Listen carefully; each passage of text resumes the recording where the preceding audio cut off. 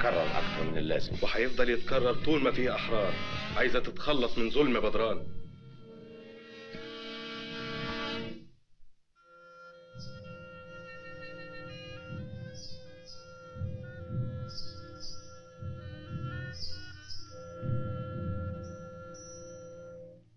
يا شيخ فاضل في إيه يا ابني؟ القفلة وصلت. الله يبشرك بالخير. يلا يا إبراهيم زمانهم وصلوا الخان. وبفضل الله قدرنا نتغلب على اللصوص. وهي القفلة قدامك سليمة من غير سوء. ربنا يبارك فيك يا ابني. محتاج لي يا عم الشيخ فاضل. ربنا ما يحرمنيش منك يا ريس حسن. أنا مش هعطلك دلوقتي أنا عارف إن والدك في انتظارك على نار. سلام عليكم. وعليكم السلام ورحمة الله. يا خسارتك يا ريس إسماعيل. يا خسارتك أيوه يا خسارته يا جعفر. اللي زي ده ما يتعوضش. أنا برضو في الخدمة يا عم الشيخ فاضل. ده لولا ستر ربنا كان زمانها راخر دلوقتي من الأموات. ربنا يحميك يا ابني. والله يا عم الشيخ فاضل أنا ما حبيتش أتكلم لما حسن عين نفسه ريس على القفلة. وقلت إن الكلمة الأخيرة كلمتك. أنت وحسن إخوات مفيش فرق بينكم ابدا. فعلا إخوات فعلا. مم. السلام عليكم يا شيخ وعليكم السلام يا سيد عبد الجليل. أمال الريس إسماعيل فين؟ مش شايفه. الرئيس إسماعيل تعيش أنت. هات. اللصوص هجموا القفلة. الخبر صحيح والعمل. اخطر الصحاب ما يتحركوش لغاية ما نعرف إذا كانت الرسالة اندفنت معاه ولا حد استلمها قبل ما يموت.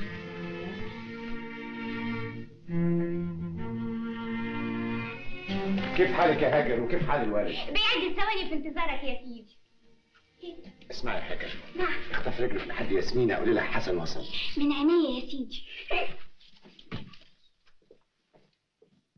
حرما يا والدي. جمعا يا ابني. أهلا وسهلا بالعزيز الغالي. كيف حالك يا والدي؟ الحمد لله. بركة اللي لقيتك بخير. خايف الفلوس اللي سبتها لك تكون خلصت. لا ابدا دي كفت وفاضت والحمد لله. ربنا يخليك ليا وما يحرمنيش منك ابدا. أهلا أهلا أهلا. يا مرحب بالغالي ابن الغالي. أهلا بسيد متولي، اتفضل. الدار نورت. ألف حمد لله على السلامة. حصلت البركة يا سيد متولي. القهوة يا هاجر. آه، مبروك يا حسن مبروك. ده نصر من عند الله.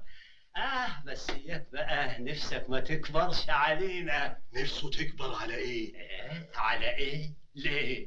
أنت ما بلغكش الخبر ولا إيه؟ أبدا. مش حسن اتعين ريس على القوافل بعد ما مات الريس إسماعيل؟ اتعين ريس؟ آه، كنت هقول لك يا والدي بس بيني وبينك. ليه يا حسن؟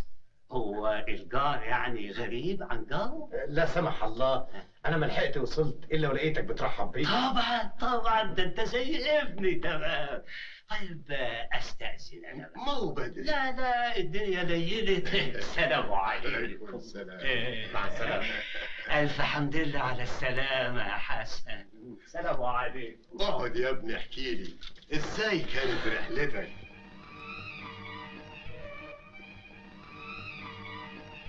كلامي طلع صحيح؟ ما يقبلش الشك. إحنا لازم نشوف طريقة ونخلص منه. انت اللي لازم تكون رئيس القوافل مفيش طريقة تراضي شيخ المنصر إلا إذا كنت أنت اللي تعينت. دلوقتي نقول له إيه؟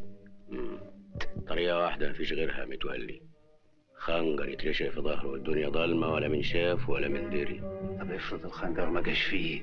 افرض انقبض عليك وإحنا مش فاضيين. ورانا قوافل بتنادي وبتقول تعالوا نهبونا. اسمع ما هو إحنا يا هو. هو ما تخافش. بقى حسن بيحب ياسمينة بنت الشيخ أبو النجا وهي بتبات له نفس الشعور. وفي مملوك اسمه شاهين كان طلب إيد ياسمينة وهي رفضت فلو عرف إن حسن غريمه مش راح يسكت. ده كان يدفع دم قلبه عشان يخلص منه. طب هنضمن منين إنه هيقتله.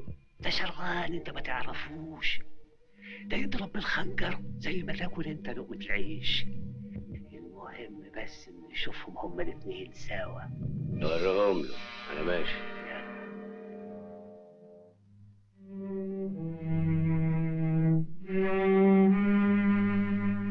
جعفر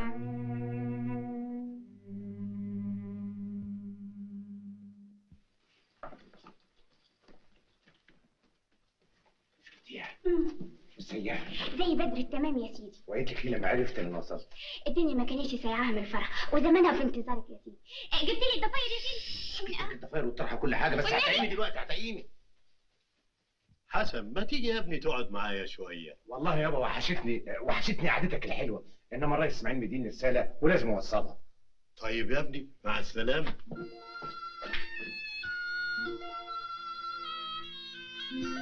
مش قلت لك؟ أكيد حسن هيقابل ياسمين. أهو إحنا نمشي وراه لحد ما نعرف هيقابلها فين وبعدين ندي خبر لشاهين.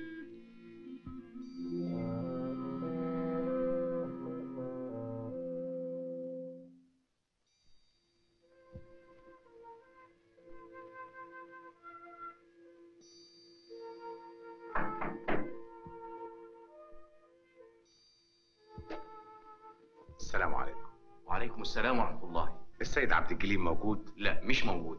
ويعود إمتى؟ العلم عند الله. معي رسالة مهمة له. غريبة. أنا كنت فاكر الرسالة دي للشيخ فاضل. أنا رسول والراسل اكد عليا أسلمها يدا بيد.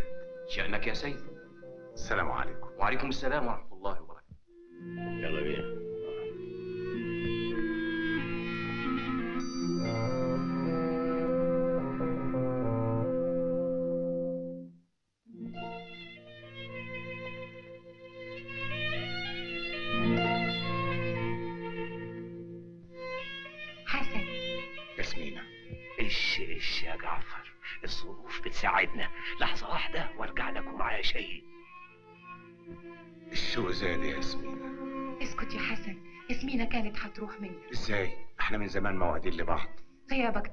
المرة دي اتقدم شاب اسمه شاهين وطلبني من أبويا. وأبويا وافق لكن أنا رفضت. وقلت له العهد وعد يا أبويا. يا ويل اللي ياخدك مني. كيف كانت رحلتك يا حسن؟ ارفع الحجاب وأنا أقول لك. عيب يا حسن. عيب ليه؟ كلها يومين وهنتجوز. عيب يا حسن. لو حد شافنا. هيقولوا البدر ظهر قبل أوانه.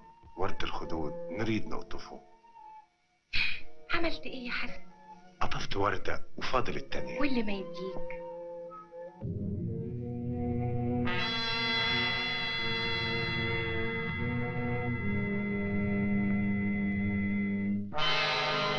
ارجع انت البيت حالا.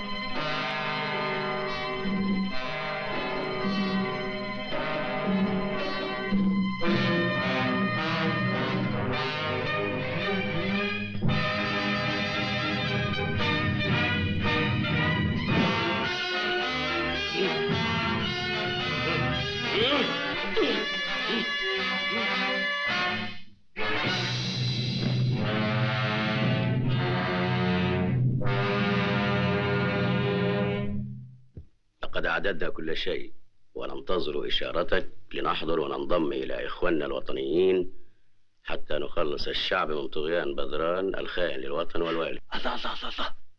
إيه ده؟ دي ال- الرسالة اللي وقعت من حسن. ابشر يا جعفر. الظروف بتساعدنا. كلمة البطران ونخلص من صاحبك للأبد. طب ما نكتب الكلمة دي البدران بدل ما نقولها له. نسيت شاهين؟ وشاهين دخلوا إيه في الموضوع؟ مش هو اللي هيخلصه من غريمه؟ يبقى لازم يدفع الثمن قول لي يا سيد جعفر. يا نعم. إيه اللي تعرفه عن حسن؟ أنا أعرف حاجات كتير قوي عن حسن ممكن توديه السجن. كده؟ آه. لكن إزاي توديه السجن؟ وسؤال وجيه. آه حسن عنده رسالة الظاهر عليها من الثوار مش عرفك إن الرسالة دي من الثوار آه. اتفضل اقرا دي وقعت منه امبارح بعد ما اتعارك معاك. ولو انقبض على حسن والرسالة دي وياه السجن طول عمره قليل عليه. تهنا لك بقى ياسمينة يا شاهين بيه وتغيظ لكن الرسالة دي كانت رايحة لمين؟ آه دي كانت رايحة لواحد اسمه السيد عبد الجليل. السيد عبد الجليل. أيوه عبد الجليل مين؟ وساكن فين؟ ده ساكن في عطفة الرمان. مش عرفك إن عبد الجليل ده له علاقة بالثوار الأيام دي حد عارف مين مع دول ومين مع دول ثم حسن رفض يسلم الرسالة دي لخادم عبد الجليل. كده. طيب سيبوني أفكر شوية النهاردة. على راحتك يا بيه وعلى كل حال إحنا هنا كل يوم في نفس الميعاد. طيب السلام عليكم. وعليكم السلام. تولي ها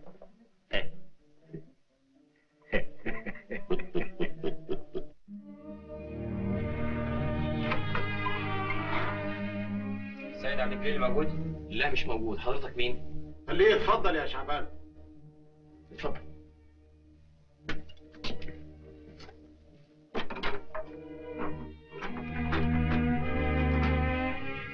يمكن تستغرب إيه اللي جابني هنا دلوقتي بعد ما حلفت اني ما اعتبش دارك؟ خير إن شاء الله. انت كان ليك يد في الحركة الوطنية الأخيرة. ليه؟ خايف عليا؟ صراحة أنا خايف على نفسي. إذا اتقبض عليك وتعرف إن أنا أخوك مش هسلم من الأذى. ما تخافش. إحنا صحيح من أب واحد لكني أنا اتولدت هنا وأنت اتولدت في إسطنبول. أنا اتربيت في بيئة وأنت اتربيت في بيئة تانية. محدش هيخطر في باله ابدا إن إحنا إخوات. يعني بتعترف إنك أنت من الثوار ولي الشرف يا عبد الجليل أنت مجنون. أنت بتلعب بالنار. فوق لنفسك يا عبد الجليل. أنت بأصلك تقدر تعيش سيد هنا. وأنا ما أطمعش إلا إني أكون خادم. خادم للوطن اللي رعاني. إزاي أنصب نفسي سيد على ناس أمي كانت منهم؟ طول عمرنا مختلفين في الرأي. لأنك عايش عيشة اللي أنت بتسميهم أسياد. لأنك ما جربتش الظلم اللي بتئن منه الأهالي. لأنك ما شفتش الجبايات وإزاي بيجمعوها. ما شفتش الاستعباد في الصورة البشعة اللي أنا شفت فيها. يجوز يجوز. بس زي أنا ما عرفت إنك أنت من الثوار جايز جدا حد تاني يعرف. مش هتخسر حاجة يا عبد الجليل لو تحاذر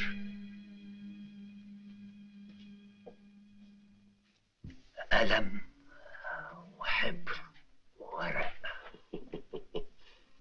هي دي معدات القتال.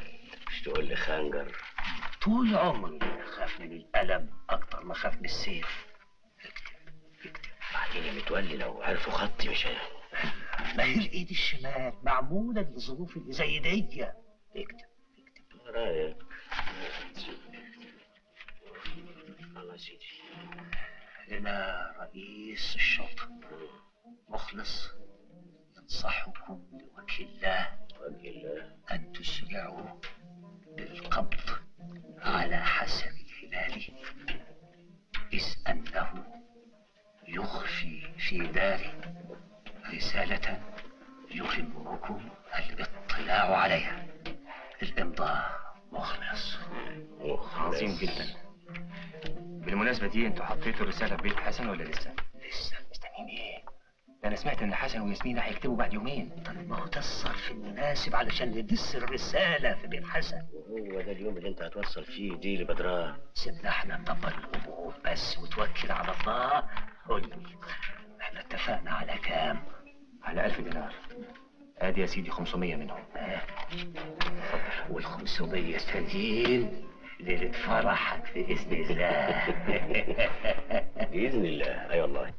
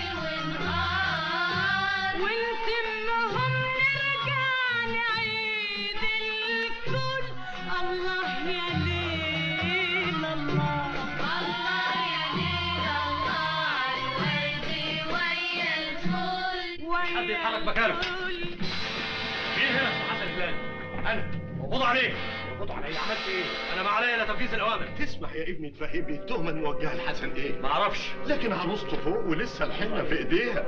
حسن هيروح بكرة لدار الشرطة لوحده اقسم لك بشرفي الأوامر لازم تنفذ. قدامي. حسن! حسن أجي معاك يا اخويا. لا لا إحنا الاثنين نروح معاه. مفيش داعي أنا متأكد من نفسي وهرجع لكم حالا. فتشوا الدار لا حول ولا قوة إلا بالله.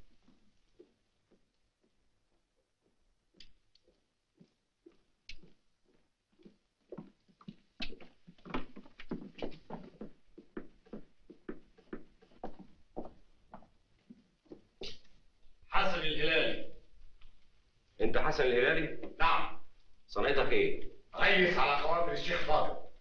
قدامي تهمة موجهة إليك. جاوبني بالصدق. حسن الهلالي عمره ما كذب ولا غدر. ليك أعداء؟ أفضل ما أعرفهمش عشان ما اضطرش اكرههم امم طب إيه ردك على الاتهام ده؟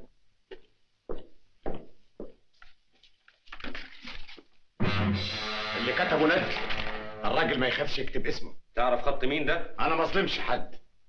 إيه الصحيح في الاتهام ده يا حسن؟ كان معي رسالة بالفعل سلمها لي الرئيس إسماعيل قبل وفاته لكن ضاعت مني. وكنت تعرف مضمونها؟ لا الرسالة كانت مختومة. وإيه اللي خلاك تخاطر وتحمل رساله ما تعرفش مضمونها؟ أي راجل يعرف معنى الشرف كان عمل اللي عملته. وصية ريس بيسلم الروح أمر مقدس. كلامك بالصدق ناطق يا حسن وباين عليك الشهامه لكن الرسالة دي كانت موجهه لمين؟ آسف مش من حقي أقول. لقيتوها فين؟ كده حسن الجلالي.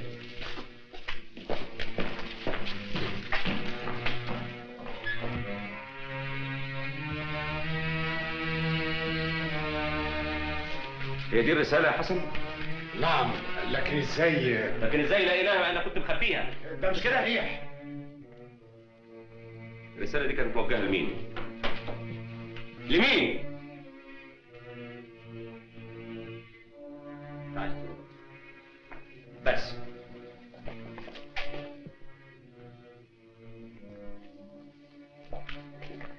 يا حسن انت مش هتقدر تخرج الليلة دي.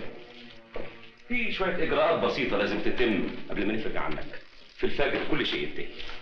مش هقدر أخرج دلوقتي. أنا قلت في الفجر. اتفضل.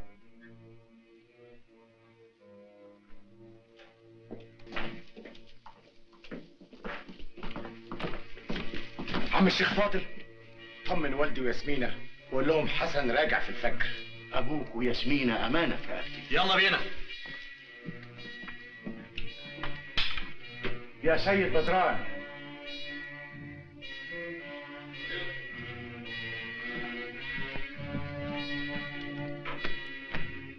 السلام عليكم. وعليكم السلام. ماله حسن؟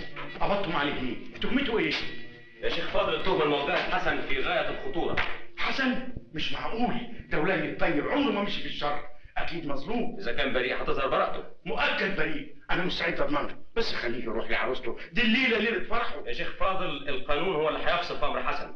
مع السلامة.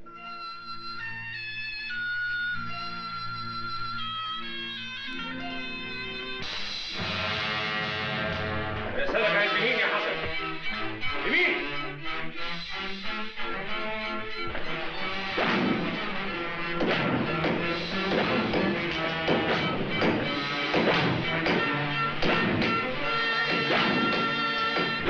شفت بقى؟ الخنجر ولا العلم إيدك بقى على الرصيد. رصيد إيه؟ إحنا مش اتفقنا إن الدفع يوم كاتب كتابي؟ ده أمر مفروغ منه إنما الحالة ضيقة وأنت سيد العارفين. ده عاوزها تفرج معاك؟ حد يقول لا؟ زي ما بعت لي حامل الرسالة. بيع صاحب الرسالة البدران.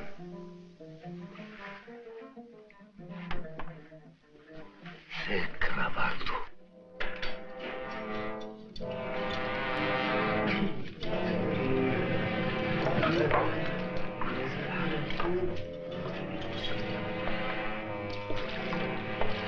أنا بقالي 15 يوم مرمي هنا في السجن. عاوز أقابل بدران ليه؟ وانت أصحاب؟ أنا مش هسيبك. الا تاخد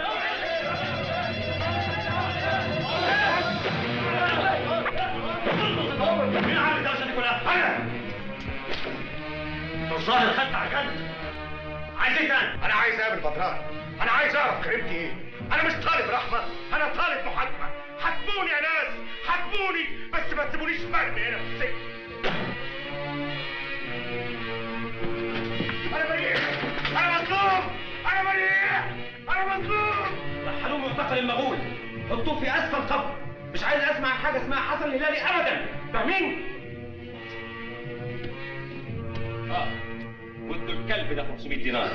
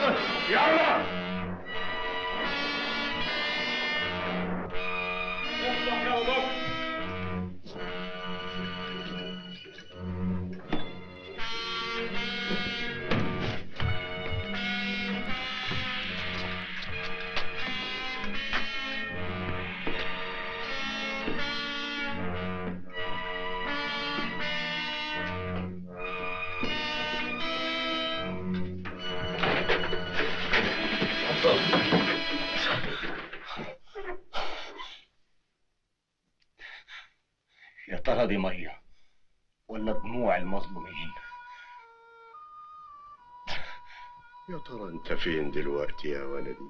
جعان ولا شبعان؟ ميت ولا حي؟ شدة وتزول يا ابو حسن. يا ما أنا خايف يا ياسمينة لموت من غير ما أشوف حسن. بعد الشر عليك ما تقولش كده. ده أنا حتى امبارح حلمت حلم. خير يا بنتي. حلمت إن حسن راكب رهوان أبيض وماشي في وسط الصحراء وفجأة هجموا عليه اللصوص. مسك سيفه زي البطل. وقعد يضرب فيهم يمين وشمال لحد ما انتصر عليهم. لكن اللي جرح قلبي إنه ما كانش بيضحك. أنت رجعت للصيام تاني؟ أحسن خلي العيش لكلاب السجن.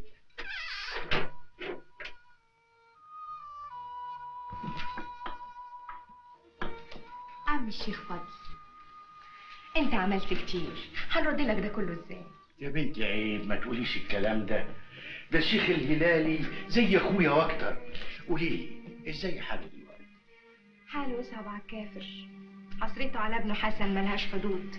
ما عندكش خبر كده يفرحه؟ يا بنتي الأمل أصبح وهم. اسمتنا كده يا عم الشيخ فضل السلام عليكم ورحمة الله. أبويا. عليكم السلام ورحمة الله وبركاته. إزيك يا بنتي؟ الحمد لله. بارك اني لقيتك يا شيخ فاضل. أهلا وسهلا. اتفضلي خير إن شاء الله. الحمد لله.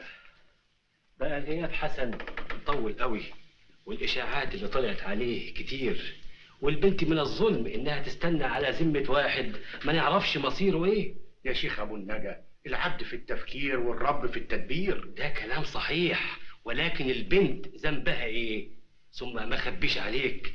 اتقدم لها عريس اسمه شاهين وناوي يدفع لها مهر ممتاز. لكن أنا مش موافقة يا أبويا. يا بنتي افرضي إن حسن أنا مش ممكن أسيب أبو حسن يا أبويا. وزي ما كنت معاهم في الأفراح هفضل معاهم في الأحزان.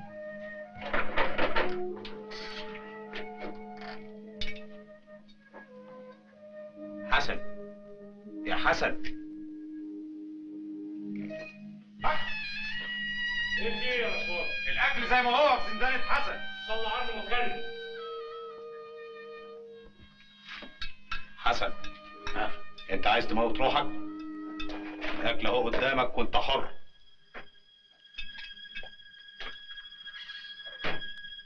أنا حر. لما كنت حر كنت بهاب الموت لأن الحياة بالنسبة لي كان معناها السعادة. لكن دلوقتي كل شيء اتغير والموت أصبح طريق الخلاص الوحيد. الصوت ده جاي منين تكونش دي اوهام لكن ده صوت حفر. يمكن واحد زيي بيفكر في الحرية. الحرية. مين المجنون ده اللي لسه عنده أمل؟ أمل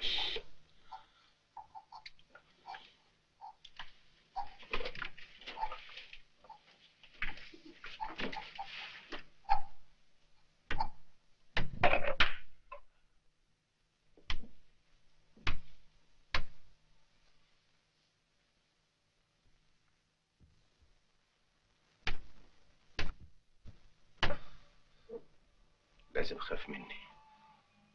افتكرنا حد من الحراس.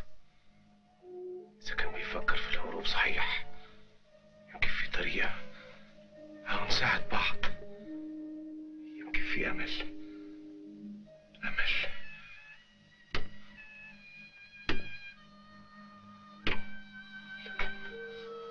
أنا ضعيف. مش هقدر أساعده. فين الأكل؟ فين المية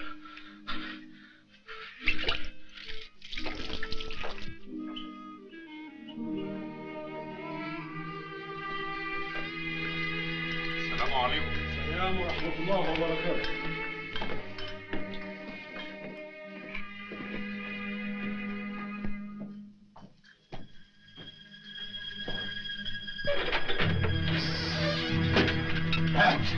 إيه نفسك اتفتحت على الأكل؟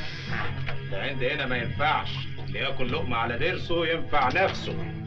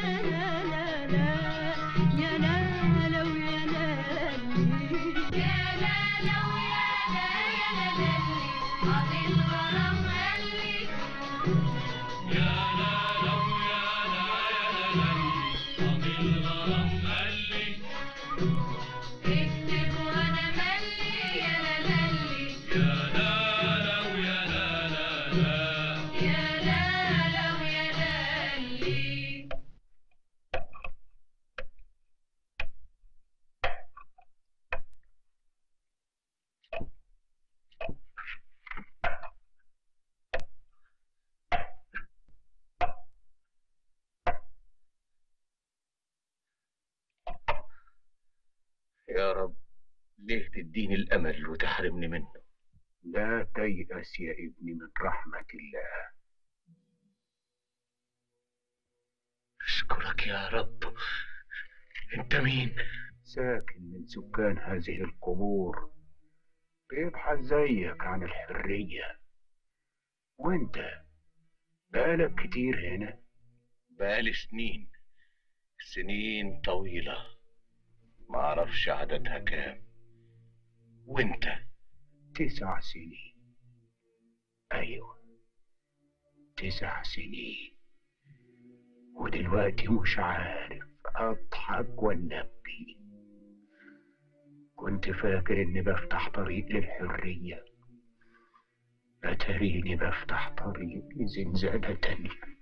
زي بعضهم نساعد بعض. واللي ما قدرتش تعمله أنت لوحدك. يمكن نقدر نعمله إحنا الاتنين.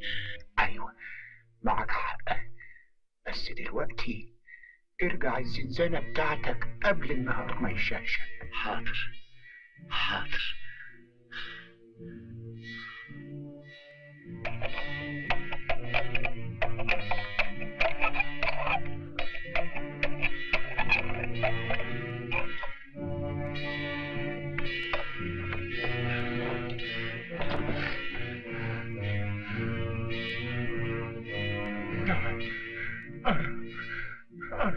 عشان أشوف وشك كويس.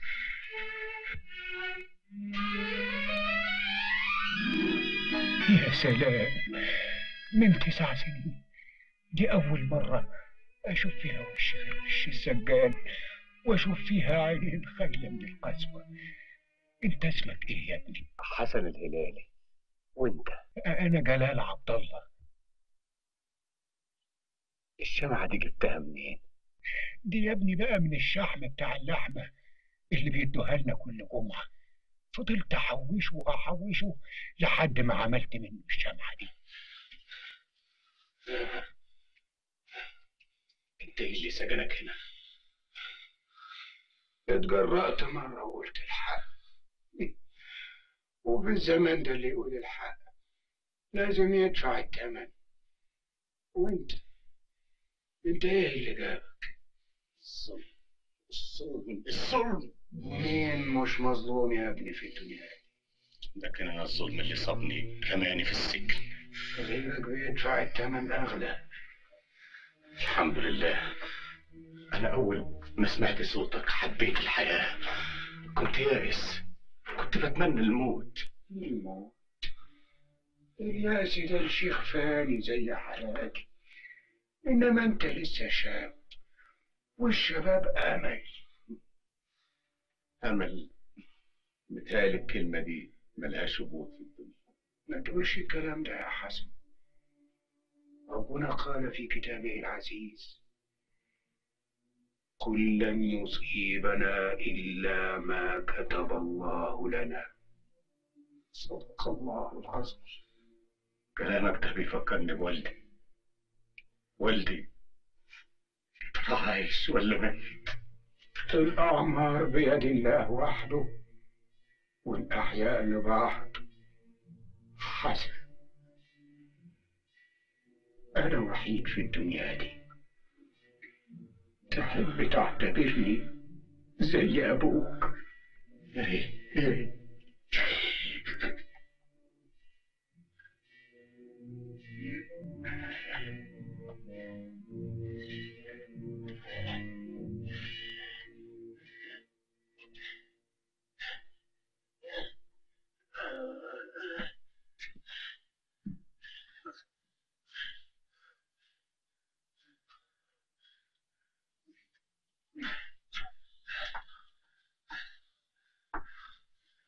هي دي الزنزانة بتاعتنا كل السجون بتشبه بعضها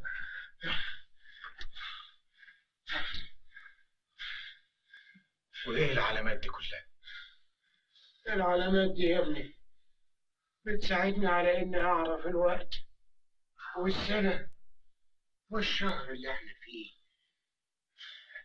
انت تعرف علم الفلك الفلك والتاريخ واللغات وحاجات كتير قوي. هبقى أعلمها لك. آه، أهو نتسلى. وايه فايدة ده كله؟ والانسان محروم من حريته. حريتك يا ابني. مفيش حد هيديها لك غير ده. ودي دلوقتي بقى نبتدي نفحت نفقة في الاتجاه ده. هو ده اللي هيوصلنا بره السجن.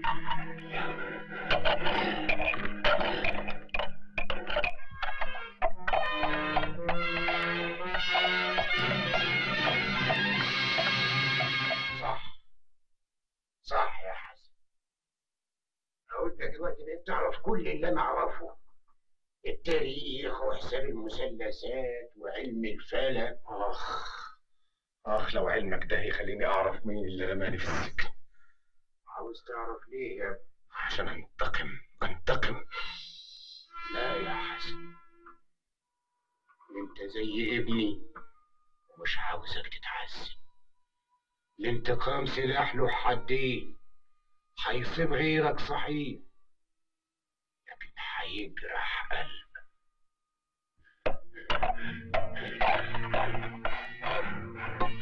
شيخ جلال رجعني الزنزانة يا حسن. مش قادر أتنفس. أنا حاسس إن أيامي في الدنيا بقت معدودة. يمكن نقدر نهرب سوا. ويمكن الموت يفرقنا ما تقولش كده يا شيخ جلال. تعال. ويعز عليا إني أفرقك أفارق شريك وحدتي. ورفيقي الوحيد. في السنين اللي فاتت دي كلها. من غير ما أطلعك على سر. يمكن لو كتبت لك النجاة ينفعك في يوم من الأيام. أنا غني يا حسن. غني فوق ما تتصور. لا حسيت بالخطر اللي بيهددني. جمعت كل أموالي ومجوهراتي وأخفتها في مكان مهجور. وعشان ما أقدر أهديدي للمكان ده. عملت له خرطة. حدها لك. أيوة حدها لك. بصفتك وريثي الوحيد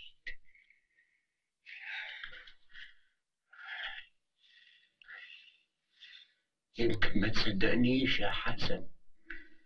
لو قلت لك إن الثروة دي هتخليك أغنى راجل في العالم لكن هي دي الحقيقة. لو قدرت تعرف مش هتخسر حاجة إذا بحثت عن الكنز ده وتأكدت من كلامي. الكنز الحقيقي يا شيخ جلال هو وجودك معايا. النور اللي استمديته منك القوة المعنوية اللي روحك ألهمتها الروح. الأمل الأمل اللي أوقته إيمانك فيه. هو ده الكنز الكنز اللي ما يقدرش حد ياخده مني أبدا.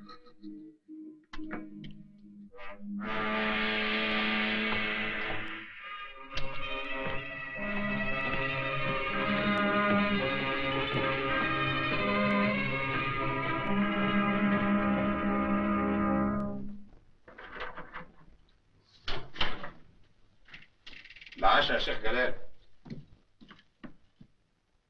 شيخ جلال. شيخ جلال.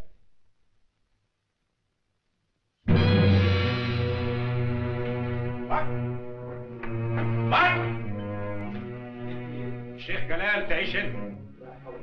ادي خبر للطربي يجي يشيله وأنا هبقى ابلغ الحاج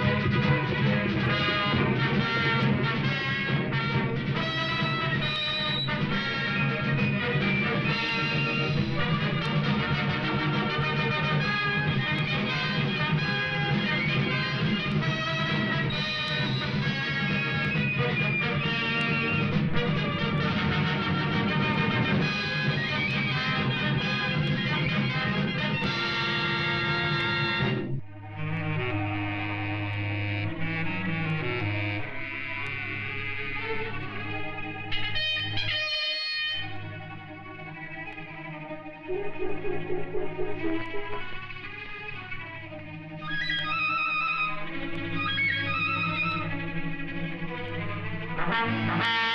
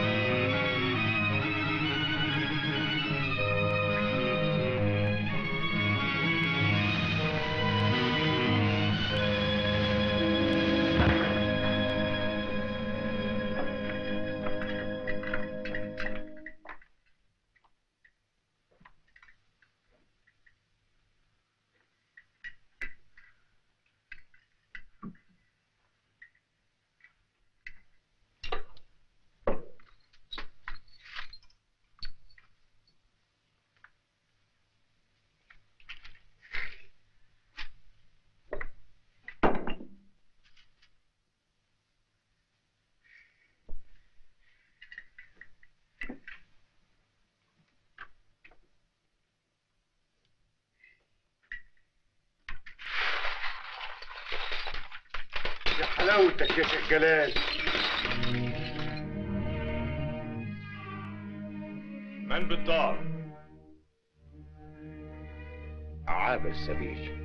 وعابر السبيل ماله ومال البيوت المهجورة الشيخ الهلالي صاحب الدار كان صديقي من سنين. ما تعرفش عمل فيه إيه الزمان؟ سمعت إنه مات من سنين. مات. سبحان الحي الذي لا يموت. أنت غريب عن البلد؟ نعم.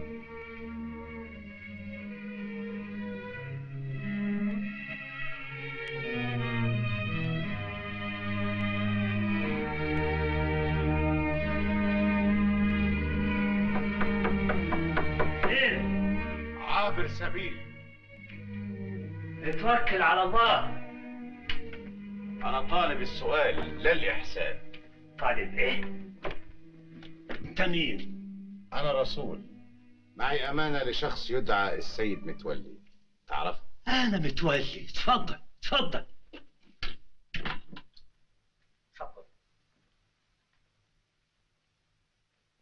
أنا اسمي الشيخ جلال من أعيان الشام. اكرم وأنام. أحب أتأكد اولا إنك أنت الراجل المقصود. آه بخصوص إيه؟ هتعرف حالا. أنت تذكر شخص اسمه الشيخ الهلالي. اللي اذكره ده كان جاري آه الله يرحمه. ما تعرفش مات من إيه مات حسرة على ابنه. أنت تعرف ابنه؟ إلا أعرفه. أنت بتسألني الأسئلة دي ليه؟ حسن كان زميلي في السجن. سجن؟ ما تخافش. أنا كنت مسجون في قضية سياسية. وفي السجن اتعرفت بحسن. ما أقدرش أوصف لك قد إيه الإخلاص اللي أظهره نحوي. سألته إذا كان في إمكاني أرد الجميل. طلب مني أكافئ بعض أشخاص بيعتقد إنهم أعز أصدقائه. أنت واحد منهم. يا سلام على الإخلاص. يا سلام على الوفاء. والله والله أنا كنت بحبه من كل قلبي. بحبه لله في لله. بس يعني تقدر تقول لي إيه هي المكافأة؟ الجوهرة دي. الجوهرة. دي علشاني. انت والتانيين. ومين هم دول؟ مش من حق أقول. اوعى يكون جعفر واحد منهم. جعفر؟ ليه؟ ليه؟ لو عرف حسن. اللهم اخزيك الشيطان اتكلم يا سيد متولي. عايز تقول إيه؟ عايز أقول انه صعبان عليا ان الوفاء والخيانة يتوزنوا بميزان واحد. خيانه قصدك إيه؟ قصدي قصدي إن حسن اترمى في السجن ظلم اتكلم يا سيد متولي. أنا ما أحبش جزاء الوفاء يصبح مكافأة للخيانة. الجوهرة دي للأوفياء بس حتى ولو صفصفوا على واحد. ولو قلت لك سر في بير ملوش قرار. هحكي لك الحكاية. احكي يا سيد متولي.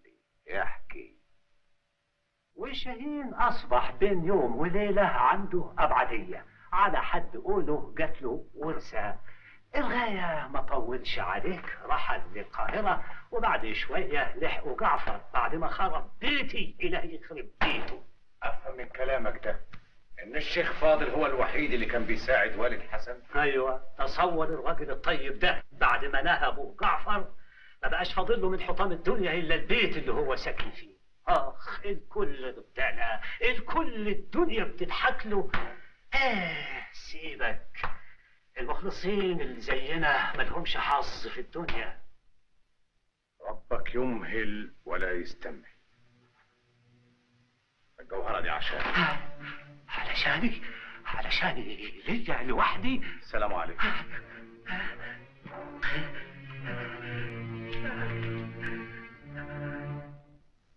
هو دين الشيخ فاضل كام؟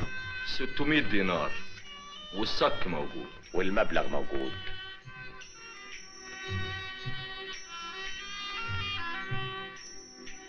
أنا من طرف الشيخ فاضل وجاي اوفي الدين اللي عليه.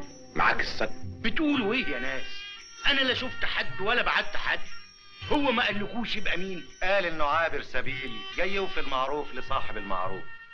معروف؟ لصاحب المعروف؟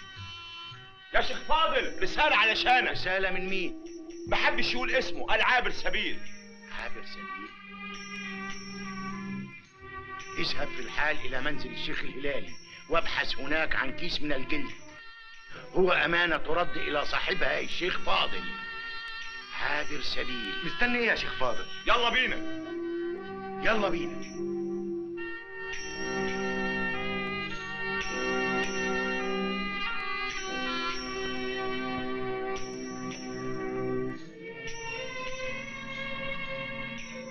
دعاء واستجيب في ليلة القدر. مش بس ديوني اللي اندفعت. وبقى معاك مال والحمد لله. يسمح لك بممارسة التجارة من جديد. سبحانك يا ربي. طلبت الستر فاستجيب وكنت خير الساترين. وفينا المعروف لصاحب المعروف. والآن حانت ساعة الانتقام.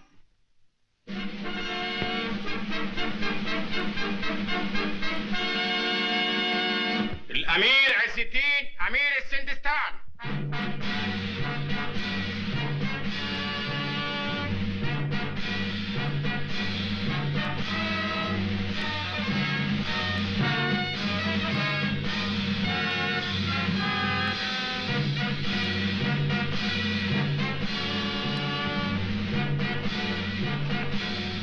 سيدي الوالي إني أضع عند أعتابكم ولائي الشخصي وتحيات إمارة السندستان. مرحبا بالأمير عز الدين.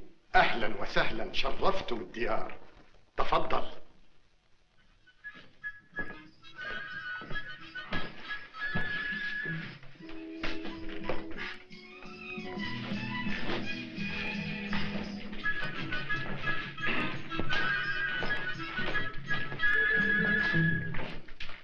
ما أجمل هداياكم يا أمير؟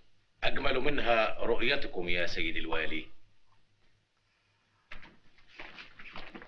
أرجو أن تكون قد قمت برحلة موفقة. موفقة إذ رأيناكم في نهايتها. احكي لنا يا أمير عن البلاد التي مررت بها ونحن نسمع ألوان الموسيقى. بدران. سيدي الوالي. فلتعزف الموسيقى ولترقص الجواري تحية للضيف الكريم. أمر سيدي الوالي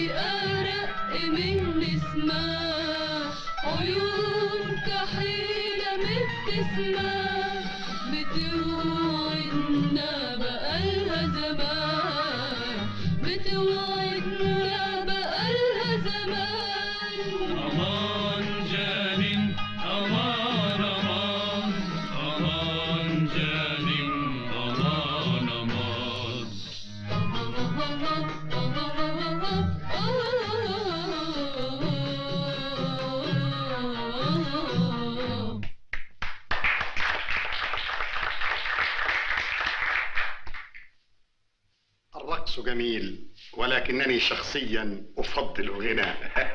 ميولنا يا سيدي الوالي تتفق في هذه الناحية؟ أسمعت يا بدران الأمير مثلي يهوى الغناء.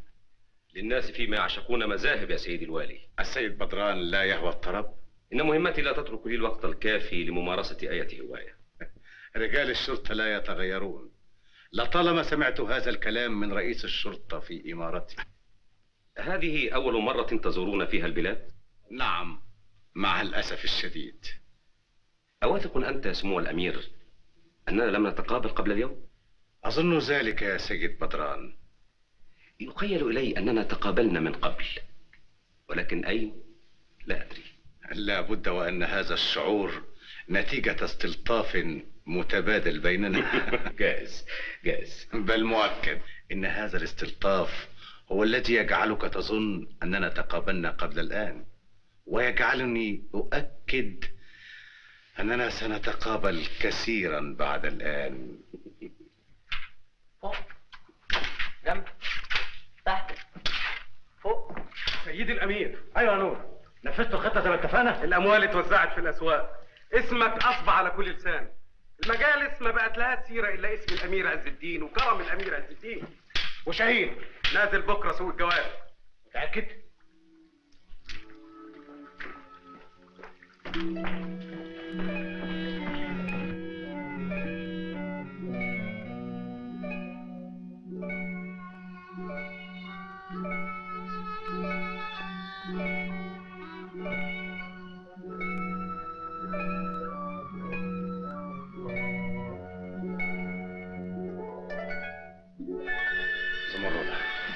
الشيء اللي هطلبه منك يعز عليا حياتي فداك يا سيدي. من يوم ما عرفتك وانت الشعاع اللي منور عليا حياتي. العاطفة اللي كنت محروم منها لقيتها يوم ما لقيتك. لقيت فيك العطف والحنان في الوقت اللي ما كانش حواليا غير الغدر والخيانة. زمردة بتحاول ترد الجميل يا سيدي. ما تنساش إنك خلصتها من ذل الأسر وعملتها معاملة الأحرار. هو ده اللي شاغلني يا زمردة ما لقيتش حد غيرك أثق فيه للمأمورية الدقيقة اللي اخترتك علشانها. سمعا وطاعا يا سيدي. بكرة هتتباعي في سوق الجواري والآن مسك الختام. الغالة التي سحرت البلاد أينما مرت. سميرة الأمراء والنبلاء مش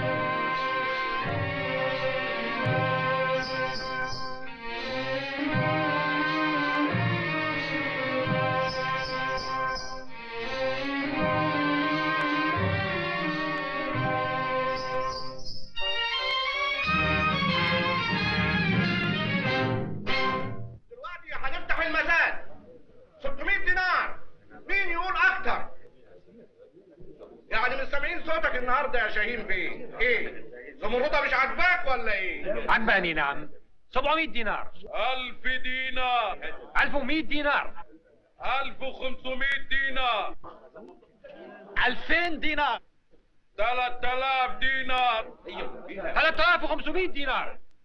5000 دينار. استمر يا أبي استمر. ظاهر الشخص ده ناوي يشتريها لأي ثمن. على كل حال هنحاول. 6000 دينار. 10000 دينار. أفتكر من الحكمة إن إحنا ننسحب دلوقتي. أنا كفيت إيدي خلاص. زمرده يبيعك ب 10000 دينار إلى الأمير عز الدين. الامير عز الدين. يشاع إنه من كبار الأغنياء في العالم. عشان يشتري جارية ب 10000 دينار يا جعفر لازم فعلا يكون أغنى رجل في العالم.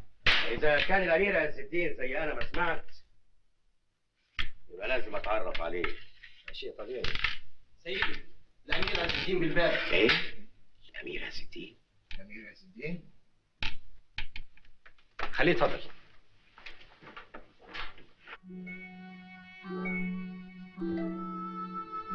أهلا وسهلا أهلا وسهلا أهلا وسهلا. شرفت الدار وأصحاب الدار يا أمير. السيد شاهين تحت أمرك يا أمير. أنا متأسف يا شاهين بيه. نور دخل المزاد وهو يجهل شخصكم الكريم. ولما عرفت ما حدث لقيت من واجبي الإسراع لإزالة سوء التفاهم. وأرجو أن تقبلوا زمردة كهدية وعربون للصداقة والمودة. العفو يا أمير أنت بتغمرني بأفضالك.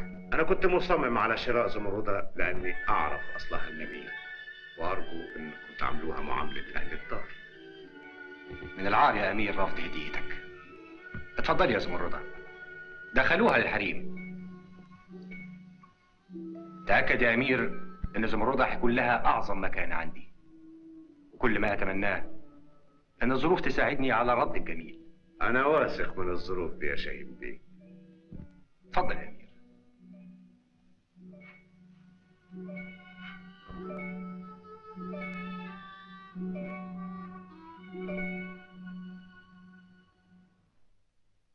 اسمح لي أقدم لك أصدقائي. رستم بيه مراد بيه وجعفر بيه. تشرفنا يا جعفر بيه. الشرف لينا إحنا يا أمير. ما أجمل مجالس الأصدقاء الأوفياء. أرجو ما كنتش عكرت عليكم صفو أنسكم لا ابدا بالعكس ده إحنا كنا بنبحث عن وسيلة لنكسب صداقتكم. وخدمتنا الأقدار بتشريفكم يا أمير. ده من حسن حظنا. بس أرجو ما تكونش صداقتي من سوء حظكم ظريف الأمير. ما تعرفيش جاي من أنهي بلد؟ الآراء مختلفة يا ستي. باين عليه الإمارة. هو بالفعل أمير. وإيه رأيك فيه؟ الجارية ملهاش رأي يا ستي. أنت عندنا مش جارية. أنت وصفتي يا زمردة. في الحالة دي هتجرأ وأقول لك على رأيي رغم المدة البسيطة اللي قضيتها وياه. بيتهيألي الأمير في قلبه جرح بيحاول يخفيه تديله كام سنة يا زمردة؟ من الصعب تحديد سنه. لما بيضحك تديله 30 ولما تفرقه الابتسامة والماضي يظهر في عينيه كأنه ملوش عمر. غريبة الكلام اللي بسمعه ده. كأنك بتحكي لي عن شخصية من ألف ليلة وليلة. كان نفس شعوري أول ما قابلته. شبهته برحالة مغامر عابر سبيل. محدش عارف هو رايح فين ومحدش عارف هو جاي منين. ومحدش عارف هو جاي منين. يسرني إن مجلس الصداقة يصبح مجلس أعمال. المثل بيقول بارك الله في الصداقة القائمة على العمل أكثر من العمل القائم على الصداقة. يا سيد جعفر أنا لا أشتري قافلة إزاي ده مش بتقول إنك هتمارس التجارة هنا؟ التجارة في نظري لا تسمى تجارة إلا إذا تجاوز المبلغ مئة ألف دينار. مئة ألف دينار؟ ده تمن جميع القوافل اللي هتصل البلد لغاية آخر الشهر. دي أقل صفقة ممكن أعملها. جوابك. شروطك. القافلة تضمن وصولها على مسؤوليتك والمبلغ يسلم إليك نقدا مقابل سك بإمضائك. وهو كذلك. اتفقنا؟ بارك يا سيد جعفر. ألف مبروك يا أمير ألف مبروك يا سيد جعفر. الله يبارك فيك. بالمناسبة دي أدعوكم لحفلة ساهرة في قصري ابتهاجا بالروابط الجديدة. وكذلك دي أكبر صفقة عملتها يا سيد جعفر. عقبالك يا سيد شاهين. شكرا. ما تستعجلوش. لسه قدامكم أعمال كتيرة معايا. تم التعارف على الجميع يا نور. والليلة بالابتسامات المزيفة وعبارات المدح المعسولة هيتغزل الأمير عز الدين في أعدائه الأربعة. هيا بنا.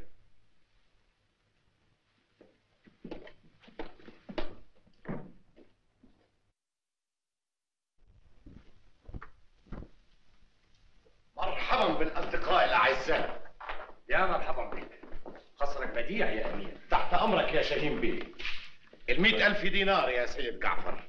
وادي الصك ممضي.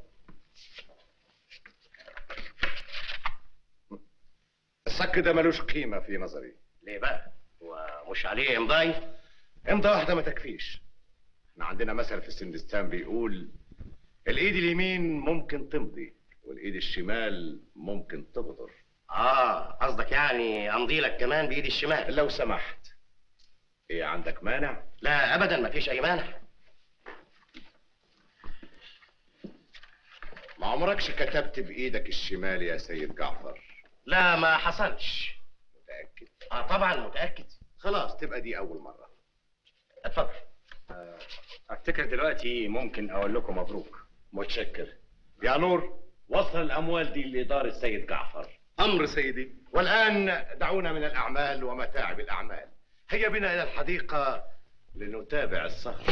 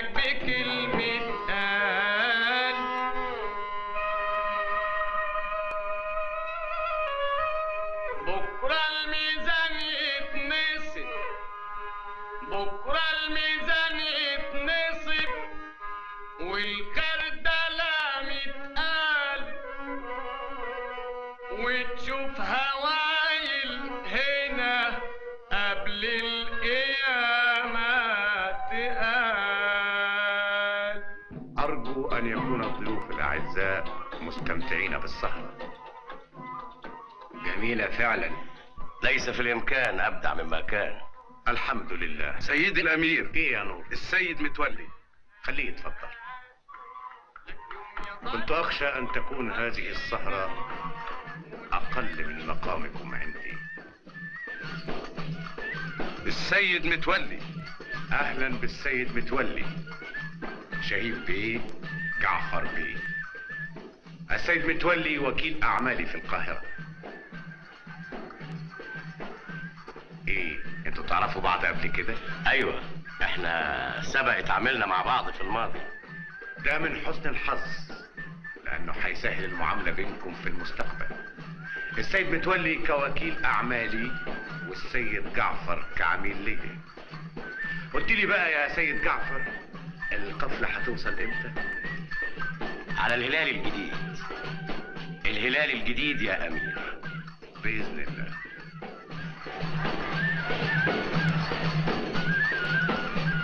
من تظنه يكسب يا سيد بدران؟ الأقوى أم الأشد دهاء؟ الأقوى طبعا فالقوة تغني عن الدهاء. أحيانا ولكن الدهاء ينتصر دائما في النهاية. تود مراهنتي. هذه لعبة تنتهي عادة بالموت وأنا لا أربح من وراء الأموال ولماذا جئت بهما إذا؟ إرضاء لرغبة بعض المدعوين. آه. فهناك كثيرون يا سيد بدران يهوون رؤية الدماء. وأنا لست واحدا منهم.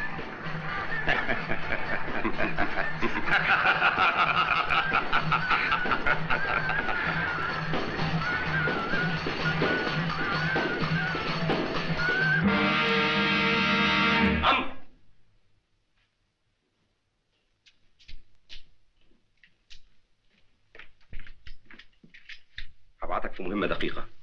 تسافر وتجيب لي كل ما يمكن من معلومات عن السندستان وعن أمير السندستان. فاهم؟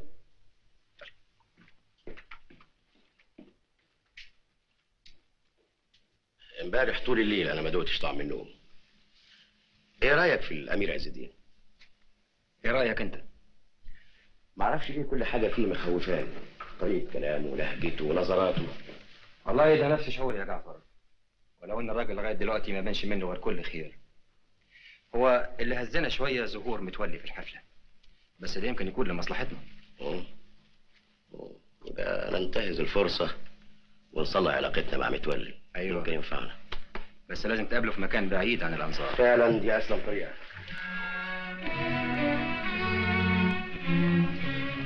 بقى كده. أيوه. واتفقوا مع بعض على إنهم يصلحوا أمورهم مع متولي ده شيء كنت أتوقعه. المهم لقيت الحجة. دورت عليها في كل حتة من غير فايدة. فتشت البيت حجرة حجرة ما عدا مخدع شاهين ما وصكيش حذري منه على قد ما تقدري. الأيام علمتني أرهب الشجاع مرة والجبان ألف مرة. اطمئن زمردة بخير طول ما هي في خدمتك. فراقنا مش هيطول يا زمردة. أنا ابتديت أجمع كل الأدلة في إيدي. من المستحسن إنك تعودي دلوقتي قبل ما يكتشفوا غيابك.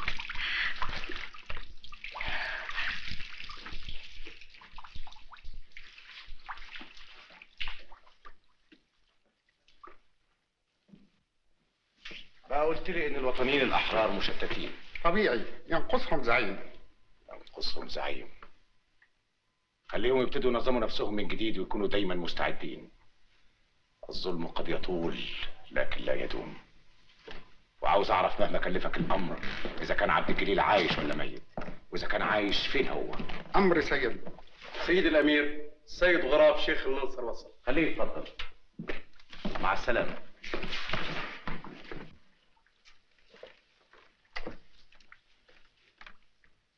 مرحبا بالسيد غراب. إحنا في الخدمة يا سمو الأمير.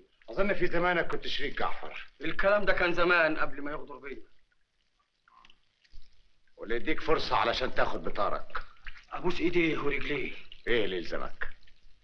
رجال وسلاح. واتفرج على اللي يجرانا يا نور أعطيه ما يشاء. أمر سيدي.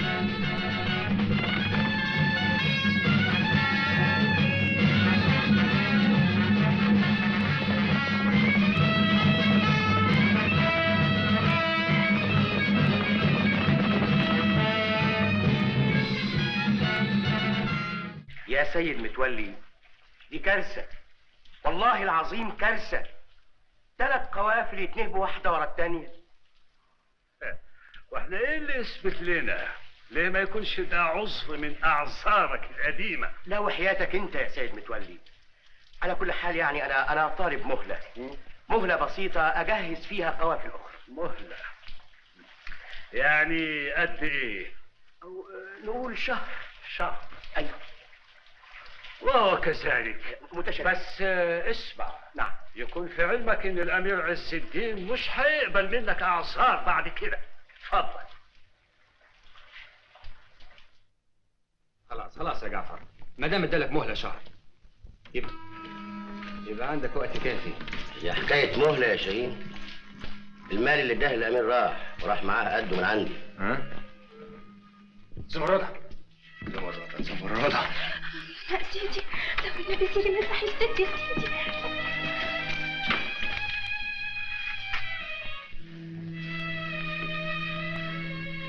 إيه الحكاية يا شاهين؟ إحنا في إيه ولا في إيه؟ اعذرني يا جعفر يا اخويا الحرمان طير النوم من عيني. حرمان إيه يا راجل أنت؟ دي جارية في بيتك وملك إيديك. جارية في بيتي. دي ما بتفرقش ياسمين ولا لحظة. مش طايل منها حق ولا باطل. لكن متهيألي برضو إنها رايداني. وحياة أبوك خلينا في موضوعنا أنا بلغتنا أخبار بأن غراب هو اللي بيهاجم القوافل. ناس شافوه واتعرفوا عليه. غراب مش غراب ده اللي كان أيوه يا سيدي ما هي دي المصيبة. الماضي اللي افتكرناه اندفن وراح. ابتدى يظهر تاني. قبل كده متولي دلوقتي غراب. ومين عارف هيظهر إيه تاني.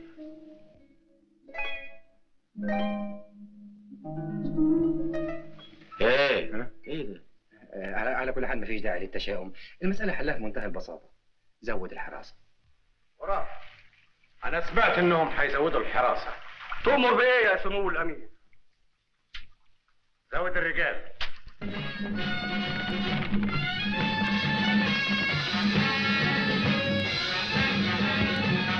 بقوا ست قوافل يا سمو الأمير. والسبعه جالنا خبر عنها. وإن شاء الله هنجيب خبرها وصلتوا الأموال لأربابها. مفيش حد نهبه جعفر إلا وهتترد له فلوس. ما بيسألوش الأموال والبضايع دي منين. قلت فاعل خير كما أمرت. جميل. بعد انتهاء مهمتك قدامك راحة بعد كده تستلم القوافل التانية. وليه الراحة يا سمو الأمير؟ رجالتي دمهم حامي وحلفوا ما يرتاحوش إلا بعد خراب جعفر. مجلس التجار منعقد اليوم للنظر في الشكوى المقدمة من السيد متولي نيابة عن الأمير عز الدين. دي عاشر قافلة بتنسرق مني يا حارة الشعبندر. لصوص تهجموا على قوافل يا سيد متولي. أنا ما عنديش ذنب ابدا. أنا ما أقبلش الأعصار الواهية دي يا سيد جعفر. أنت وصلك مني 500 ألف دينار. الصكوك موجودة عندك يا حضرة الشابندر فين هي القوافل؟ فين هي البضايع؟ جوابك يا سيد جعفر. أنا بطلب مهلة شهر حتى أستطيع تجهيز عشر قوافل أخرى. هل يقبل السيد متولي؟ أقبل مع التعويض. كم تطلب كتعويض؟ خمسين ألف دينار. خمسين ألف دينار؟ ده كتير قوي يا سيد متولي. كتير جدا. خليهم عشر تلاف دينار. خمسين ألف دينار. عشر تلاف دينار معقول. إذا كنت تحرص على سمعتك في هذا المجلس عليك بتسليم القوافل قبل نهاية المدة المحددة. تفضل مجلس. ولي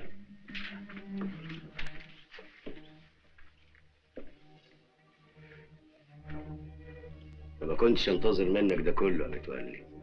أنا خادم للي بيوكلني لقمة العيش. ده ليك عندي لقمة بغاشة. جربت ما قلبك ما بقتش أصدقك. لا صدقني مرة الليلة تقابلني في الحمام بعيد عن الأنظار. حسبت لك عكس كلامك.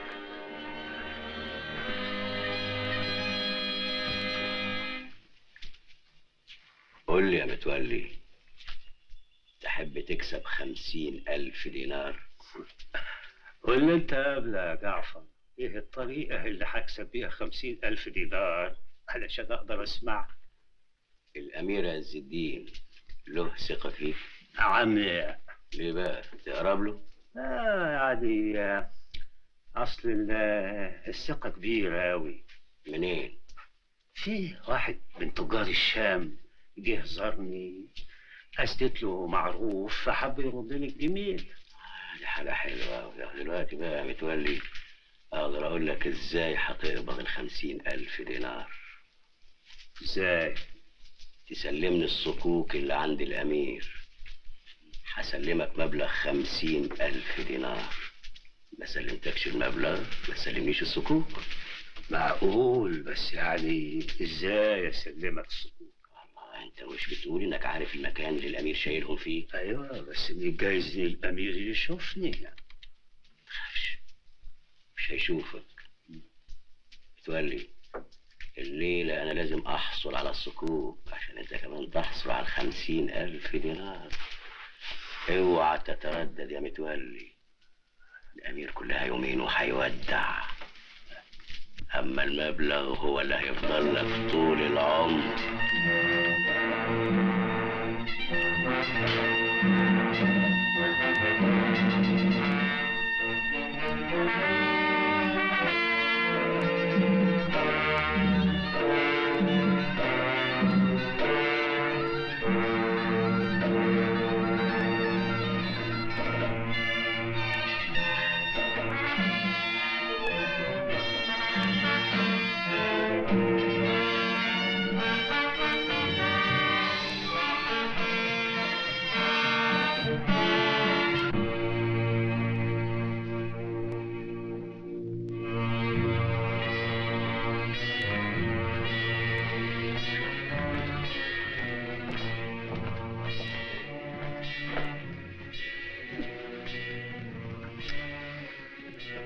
تقي شر من أحسنت إليه.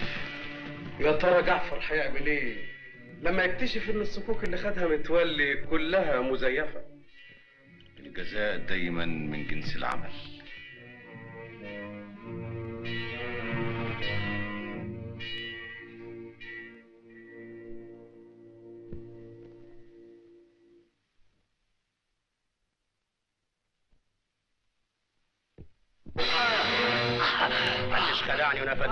متولي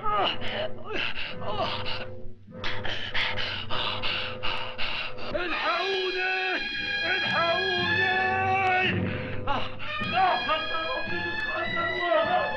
كنت عارف كل شيء. كل شيء. أيوة. تركت العدالة الإلهية تقتص منك. القاتل ده يقتلني وتقول لي عدالة؟ ما تكفرش يا متولي. ربنا اداك نعم الدنيا كلها. الصحة والمال والأصدقاء. عملت بيهم إيه؟ الأصدقاء خنتهم والمال استعملته في الربا الفاحش. وبالرغم من كده كانت رحمته واسعة. بعت لك عابر سبيل. اداك جوهرة تساوي ثروة. ما ملتش عينيك الفارغة الطمع خلاك تنسى كل نعم الله وتعتدي على الايد اللي احسنت اليك وعرفت ده كله منين؟ انت مين أنا الماضي يا متولي. أنا الماضي اللي ما ماتش. شفتك. أنت عابر السبيل. انظر لأبعد من كده متولي. استعيد ذكرياتك الأولى. أنت أنت. أنا حسن الهلالي. حسن الهلالي. أيوه حسن الهلالي. حسن الهلالي اللي أراد ربنا إنه يخرج من سجنه ويشوفك بعينيه وأنت بتدفع ثمن ذنوبك. لكن حسن الهلالي هيكون أكرم منك. هيبتهل إلى الله إنه يصفى عنك ويغفر لك ذنوبك. الأول. حد شافك؟ لا أمال مالك مطالب ليه؟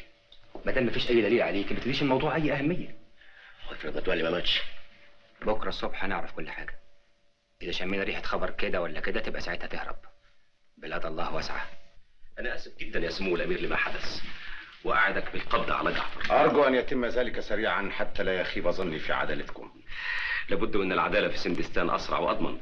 بالطبق وأي قانون؟ القانون الأزلي. العين بالعين والسن بالسن والبادي أظلم. بالشكل ده لازم في ناس كتير بيهربوا من العدالة. لغاية دلوقتي لم يتمكن أحد من الهروب. قول لي يا سمو الأمير أنت ليك أعداء. اتنين الزمن والمسافة ولسه ما هزمونيش. أما الناس اللي بتسموهم أعداء فأنا لا أخشاهم أبدا لأن لكل منهم ماضي يحاول أن يخفيه. وما علي إلا أن أنبش هذا الماضي لكي أجعله تحت رحمتي. آه، وأنت يا سمو الأمير. مالكش ماضي يا ترى ليا لكن ماضية كالقبر المغلق اللي يفتحه لا يجد إلا الموت. على كده أنت لا تخشى أحد. أنا لا أخشى إلا الله. أنا معجب جدا بسموك. وإعجابي بسموك ده بيخليني أبحث في ذاكرتي. عن المكان اللي اتقابلنا فيه. ابحث يا سيد فضلان. ابحث. واللي يبحث لازم يلاقي. وأرجو إنك تلاقي جعفر. حتى لا يخيب ظني في عدالتكم.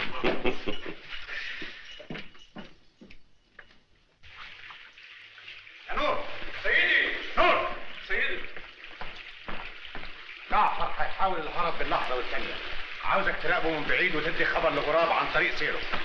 أمر سيدي. إيه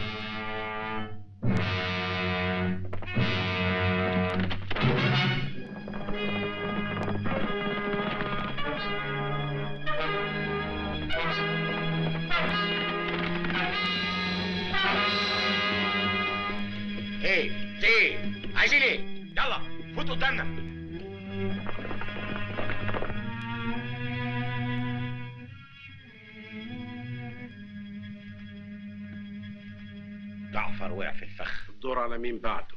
Durarik je.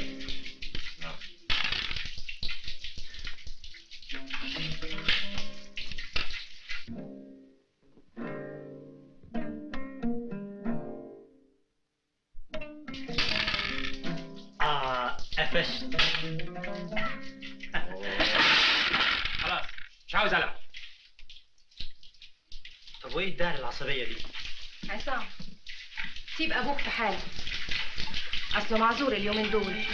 باله مشغول. تعال حبيبي.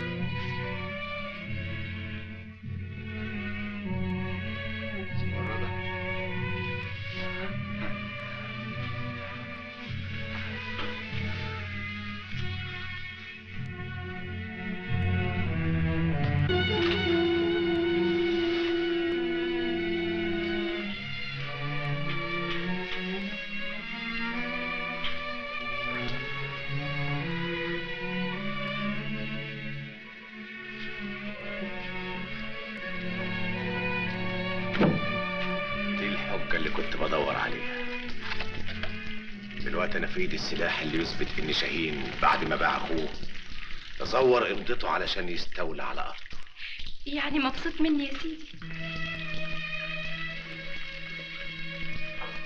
أنت مهمتك انتهت يعني مش هرجع لبيت شاهين تاني هتفضلي هنا على طول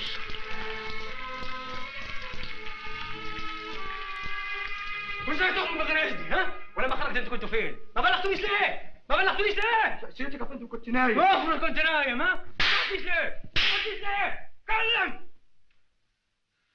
راحت فين؟ راحت فين؟ أنتوا مستنيين إيه؟ ها؟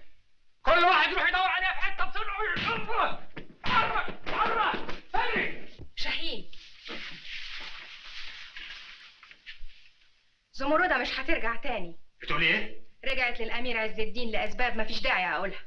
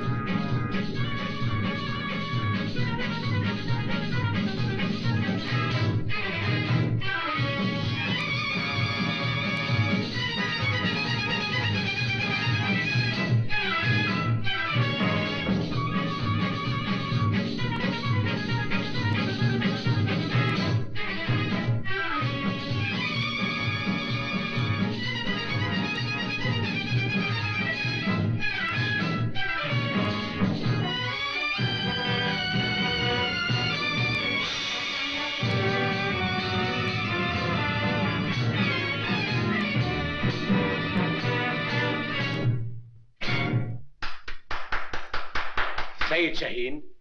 إيه يا ترى اللي اولاني شرف الزيارة اللطيفة دي من غير سابق ميعاد.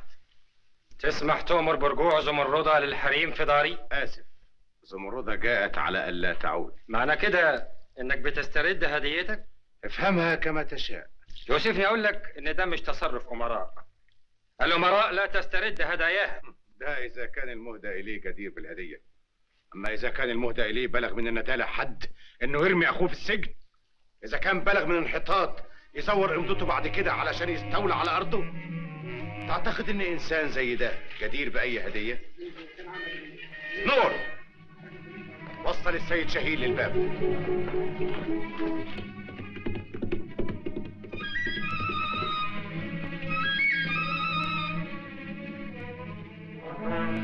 أهلا بالسيد عصام.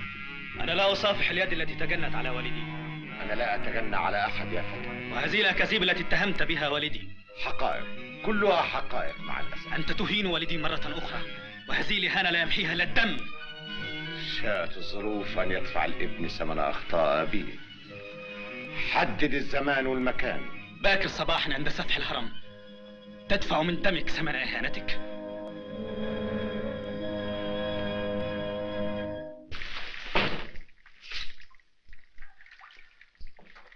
مالك يا زمردة أنا خايف عصام شاب وسيفه غدار الخوف كلمة معرفهاش لكن اللي بيألمني ويحز في قلبي إني مضطر أقتل ابن ياسمين. لكن ده أمر الله.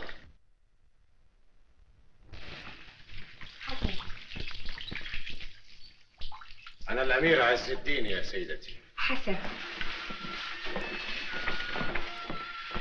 ارحم ابني. ياسمينة هي اللي بتكلمك. ياسمين اللي كنت أعرفها كانت بتحمل اسمي. أما ياسمين اللي قدامي دلوقتي بتحمل اسم شاهين. أنا ماليش ذنب في كده. انتظرتك كتير. ولما اتقطعت أخبارك والدي أرغمني إن أتجوز شاهين. اتجوزت الراجل اللي رماني في السجن من عشرين سنة. شاهين؟ أيوة شاهين. شاهين اللي بعت بإيده الورقة اللي رمتني في السجن ظلم. حب يتخلص مني علشان يتجوزك أنتي. ما كنتش أعرف. هديك عرفتي. لكن الشيء اللي مش ممكن تعرفيه الشيء اللي مش ممكن تتصوريه الأهوال اللي أنا قاستها في السجن.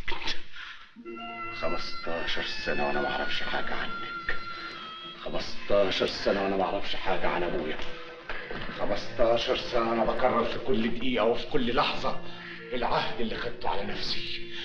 الانتقام لكن ابني ذنبه إيه في ده كله؟ جريمة الآباء يتوارثها الأبناء. سامحه علشان خاطر علشان خاطر ياسمين أنا اتعذبت كتير. مش أنت بس اللي اتعذبت أنا كمان. كنت كل يوم بفكر فيك. كل يوم بطلب من ربنا إني أشوفك تاني. أشوفك زي ما عرفتك كريم طيب نبيل. وربنا حقق لي دعايا لكن لكن اللي خلاني أشوفك في صورة منتقم؟ لو كنت قضيت شبابك في السجن زيي كنت تعرفي. خرجت من السجن بعد 15 سنة علشان ألاقي أبويا ميت. وأشوفك أنت. أنت اللي حبيتك أكتر من حياتي. في احضان الراجل اللي رماني في السجن. أنا صحيح ما تعذبتش زيك لكن ما تخلينيش أشوف اللي أمر من العذاب. أشوف ابني بيتقتل. بإيد الراجل اللي حبيته.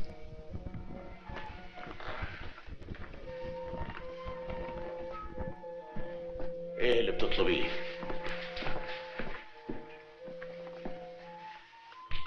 ارحم ابني. دي مبارزة حرة. لو رحمته هو مش هيرحمني. ارحم ابني. الطلب غالي والطالب أغلى. ما أقدرش أخيب رجائهم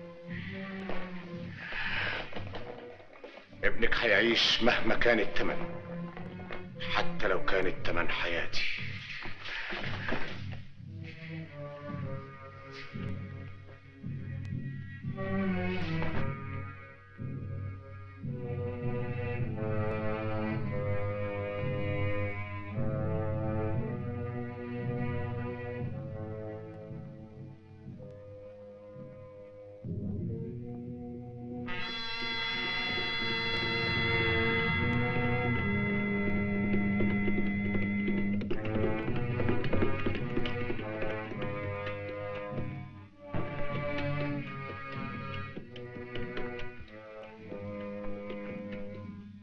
السادة.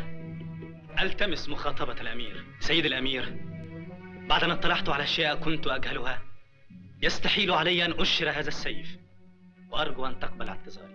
ربنا وحده هو اللي كان يستطيع إنقاذ واحد منا من الموت المحقق وتمت المعجزة بفضل ملاك طاهر. أيها الفتى الشهم إذا كان من المستحيل أن نحتفظ بالصداقة فلا أقل من أن يجمع بيننا الاحترام.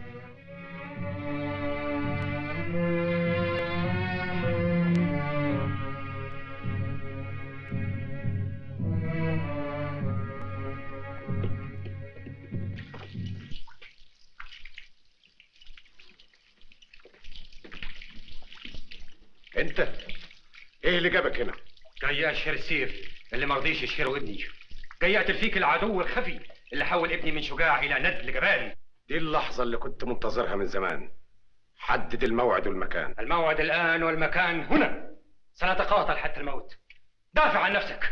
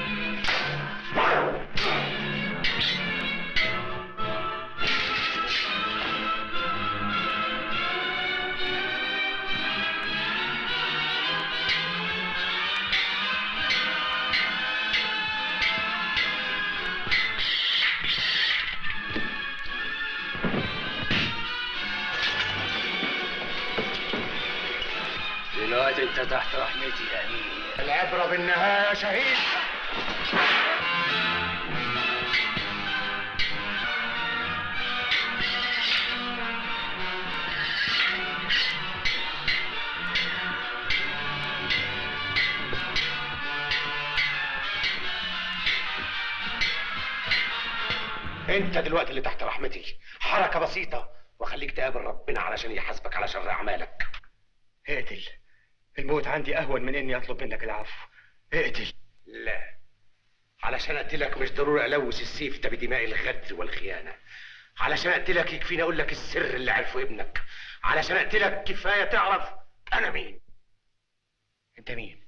أنا حسن الهلالي. حسن الهلالي. أيوه حسن الهلالي اللي رميته في السجن طمعا في زوجته. حسن الهلالي اللي أراد ربنا ينتقم منك ويكشف ماضيك القذر أمام زوجتك وأمام ابنك. عيش بعد كده إن استطعت. أما إذا كان فاضل عندك شيء من الشهامة فالسلاح اهو ده الخنجر اللي حاولت تقتلني بيه من عشرين سنة. أو.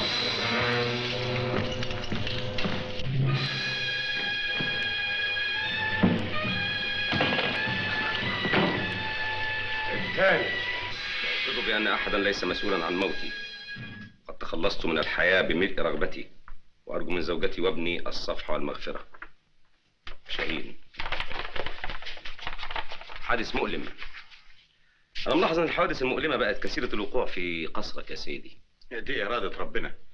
ومن حسن الحظ إن عدالة السيد بدران يقظة ومتنبهة لحماية الأبرياء والبطش بالمجرمين. على فكرة هل تمكنتم بالقبض على جعفر؟ اطمئن يا سمو الأمير. مفيش مجرم يقدر يفلت من إيد بدران أبدا. كلام طيب وحبذا لو نفذ. إن شاء الله. أنا جعان. ارحموني. وإنت رحمت حد يا جعفر؟ ما هو معلش. لكن أنا جعان. وحموت من الجوع. الأكل أهو قدامك أهو. ادفع ثمنه يوصل لحد عندك. أنا خلصت فلوسي خلاص. وانتوا اللي لطشتوها كل شيء بثمنه يا جعفر. أنا حموت. أنا حموت يا غراب. حموت يا غراب.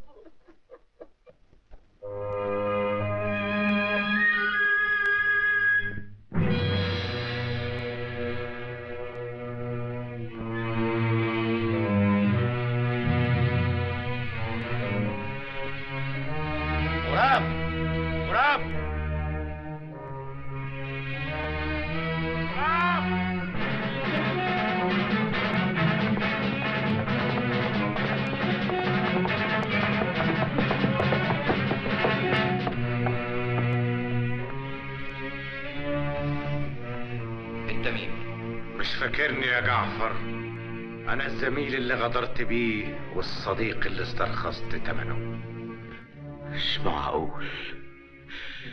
مستحيل. انت مين؟ أنا حسن الهلالي. مش ممكن.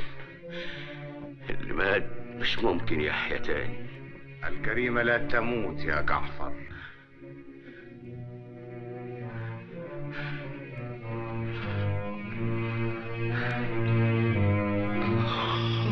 سامحني. أقدر أسامحك على اللي عملته فيا لكن مش من حق أسامحك على اللي عملته في غيري وأخرهم متولي. أموالك هتترد للي سرقتها منهم أما حياتك فهتركها لبار الحياة. الصحراء قدامك إذا صفى عنك المولى هتنكتب لك النجاة. لا يا حسن ما تسيبنيش يا حسن. حسن حسن حسن يا حسن حسن يا حسن.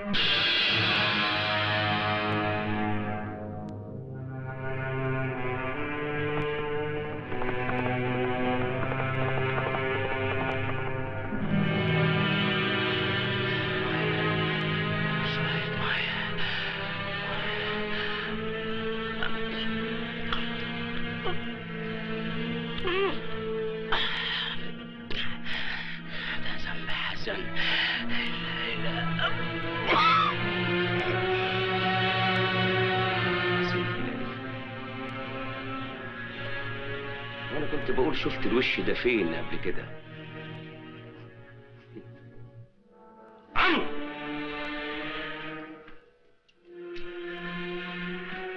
تاخد جوادك في الحال. وتسرق لي معتقل المغول. وتجيب لي كل المعلومات اللي تقدر تجيبها عن السجين حسن الهلالي. فاهم؟ بسرعة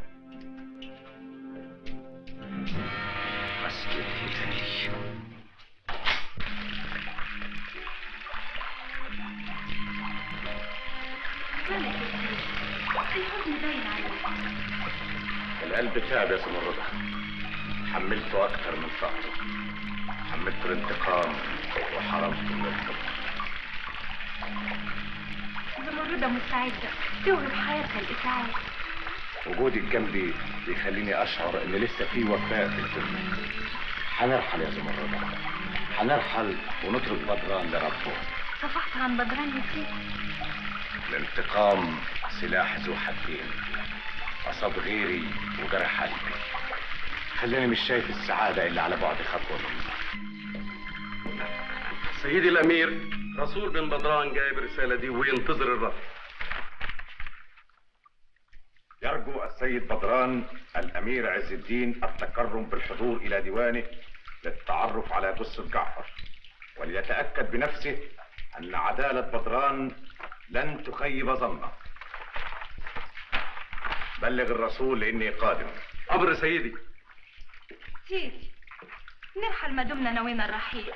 زمردة قلبها مش مرتاح. خايفة لا يصيبك شر من بدران يا سيدي.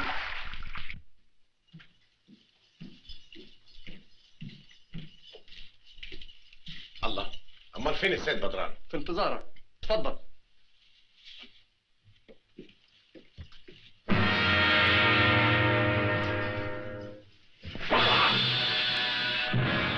كان على ظهره علامة المغول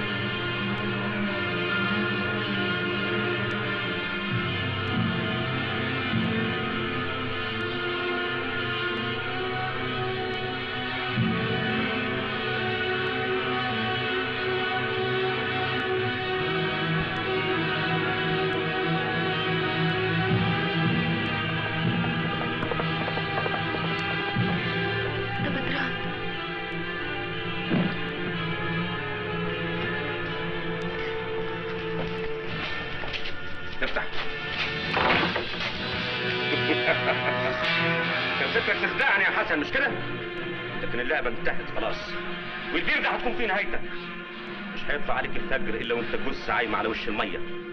وطبعا محدش هيسأل عن الأمير عز الدين لأن الجثة اللي هيلاقوها هتكون جثة حسن الهلالي الهارب من معتقل المغول.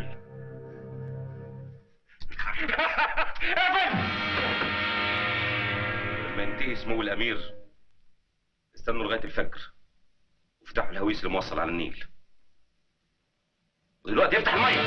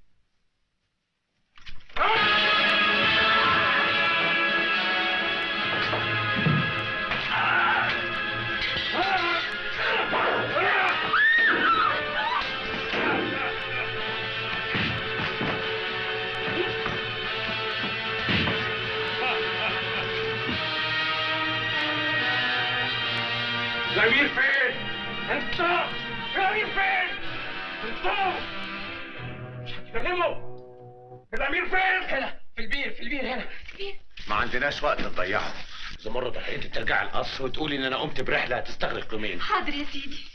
وأنت يا نور. يلا بينا نقابل الوطنيين الأحرار. يلا.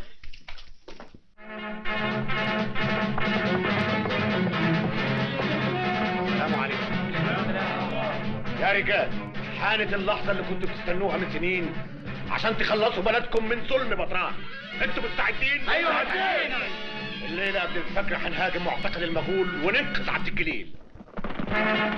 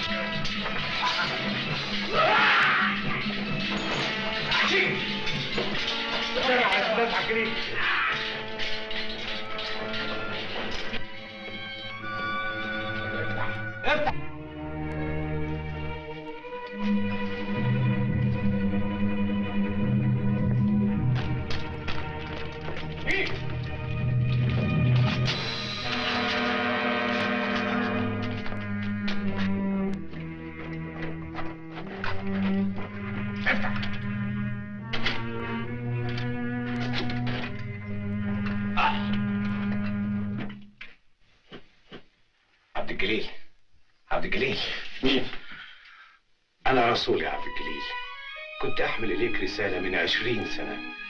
وشاءت الأقدار أترمي جنبك في السجن من غير ما أعرف. أنت أنت اللي كنت بتحمل رسالة الرئيس إسماعيل. نعم سجنك انتهى يا عبد الجليل.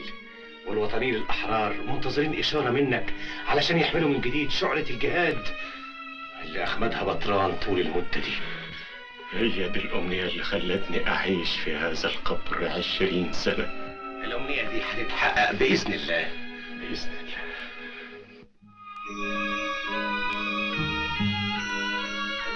بدران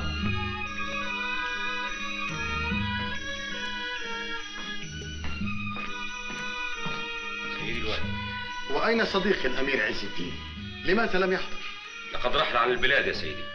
دون أن يخطرني شؤون عاجلة استدعت رحيله فجأة وقد كلفني بالاعتذار لكم نيابة عنه. الأمير عز الدين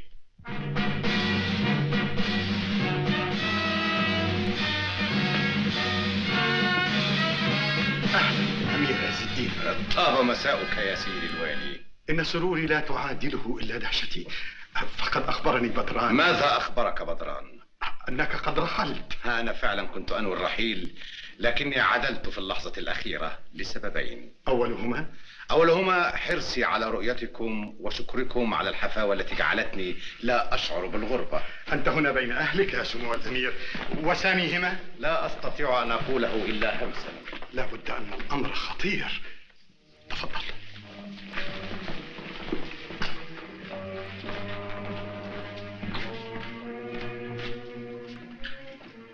ما دام الأمر على هذه الدرجة من الخطورة فلا بد من أن أتخذ الاحتياطات بدران! سيدي الوالي.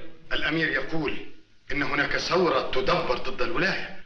وماذا يقول الأمير أيضا؟ وإن هناك متآمر يدعى عبد الجليل يتزعم هذه الحركة. عبد الجليل في معتقل المغول منذ أكثر من خمسة عشر عاما. ولكن الأمير يؤكد أنه مطلق السراح هذه أكذوبة أخرى من أكاذيب الأمير تضاف إلى أكذوبته الكبرى. ماذا تقصد بكلامك هذا؟ يؤسفني يا سيدي الوالي أن أكشف النقاب عن الشخصية المزيفة التي يختبئ وراءها هذا الرجل. هذا الأفاق الذي خدعنا جميعا وادعى أنه الأمير عز الدين. وهو في الواقع حسن الهلالي الهارب من معتقل المغول. ما أغرب ما أسمع. هل هذا صحيح؟ صحيح يا سيدي الوالي. سجنت نعم ولكن ظلم مثلي مثل عبد الجليل ومئات بل ألوف من أفراد هذا الشعب الذي حال بدران بينه وبينكم. إن بدران يخنق أي صوت يحاول أن يرتفع ليصل إليكم. إن بدران لم يسجن الأحرار فقط بل سجنك أنت أيضا يا سيدي الوالي. اقبضوا علي! اتركوه يتكلم الكلمة ليست لي يا سيدي الوالي بل لك أنت. لقد عزلك بدران عن الشعب في هذا القصر. فلا تجعل من قصرك هذا سجنا بل انزل إلى الشعب لتتعرف على آلامه وتلمس ما يعانيه من ظلم بدران وطغيان. بدران ألم تسمعوا؟ قلت اقبضوا عليه. لن يتحرك جندي إلا بأمري أنا يا بدران. إنهم جنودي أنا ويأتمرون بأمري ولن يقف أحد في طريقي ولا حتى أنت. يا الجنود اقبضوا على الوالي وعلى هذا الأفاق وليحترق الجميع. لن يحترق أحد إلا الظالم يا بدران. أنا عبد الجليل يا بدران وهؤلاء جميعا رجالي هل كنت تعتقد أنك تخلصت مني؟ هل كنت تظن أنك قضيت على الثورة عندما سجنتني؟ لا يا بدران إن الثورة فكرة وأنا رجل الرجل يموت والفكرة لا تموت يا بدران إن للظلم نهاية والقصر محاصر فمن الخير أن تسلم نفسك. انت واهم يا عبد الجليل. لا لن أسلم نفسي ابدا. اتركوه لي.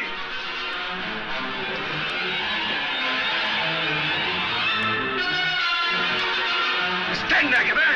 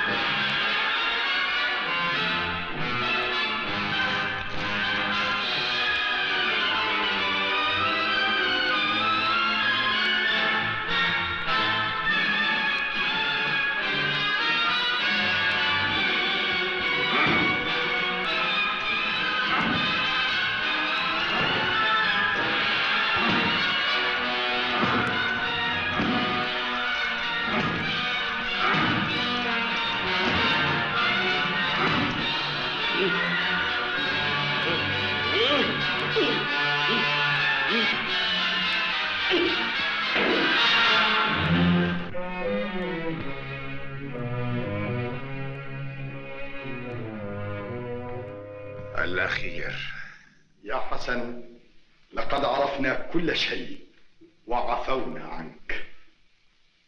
وقد عينت عبد الجليل مكان بدران ليعلي كلمة الحق. لقد أحسنتم الاختيار يا سيدي فمن ذاق الظلم يعرف معنى العدل. الوداع يا سيدي. إلى اللقاء يا سمو